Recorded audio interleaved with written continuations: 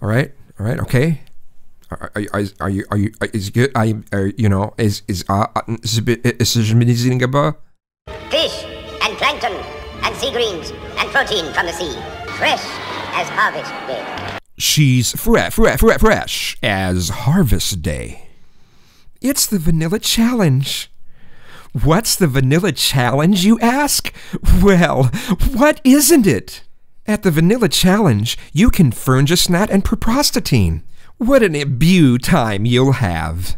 It will vlap your tender snickles. I mean, can you really picture Sally? That girl. Actually on the seashore selling seashells? I didn't think so. Nor can I picture her sitting on the sheets. The sheets she sits on. But seriously, I recommend watching season 19 of South Park.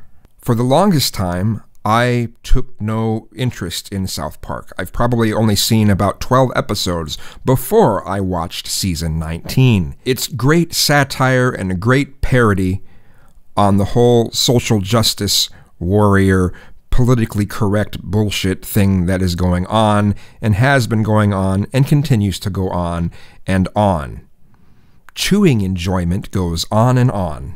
Wrigley Spearmint? What is Wrigley Spearmint? It's cool and refreshing. Chewing enjoyment goes on and on. Total. Wrigley Spearmint is pure chewing satisfaction.